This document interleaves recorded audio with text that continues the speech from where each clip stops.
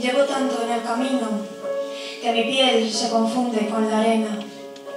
Hay un nido propio que me llama, hay un nido propio que ha volado por los aires, hay un nido que es pasado, hay un nido, mi vida, en el futuro, mi vida. La muerte y la vida se cruzan en el camino, mi vida, como espejismos lejanos, espejismos sin más, espejismos sin tierra. Preparado para la ausencia. Traigo mi vida preparada para la pérdida. Hablarán de valor o no hablarán de nada. Asumo mi carácter invisible en este punto. Asumo mi carácter porque no habrá nada más cuando supere el abismo o caiga irremediablemente.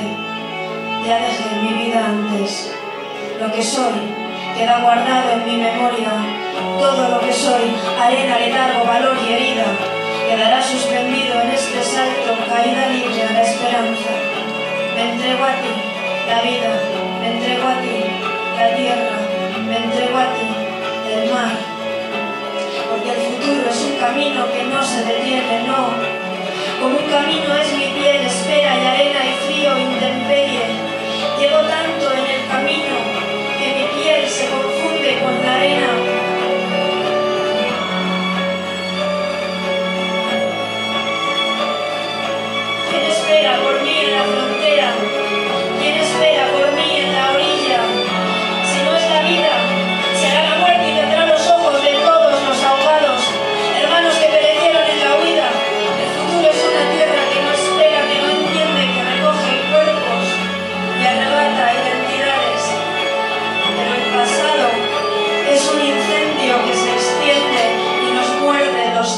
Retroceder no es una opción, no.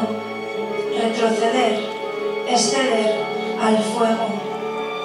Y es ahora, con la garganta helada, la lengua aterida de frío en una tierra que no comprende nuestro idioma y el estómago vacío, es ahora el momento. Hablaréis de valor o no hablaréis de nada. ¿De quién será este cuerpo a la deriva? ¿De quién será este cuerpo buscando refugio?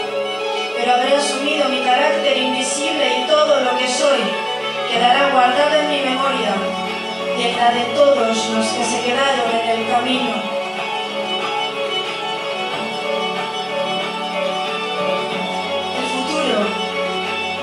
un espejismo. Lo noto vivo, tierra fértil,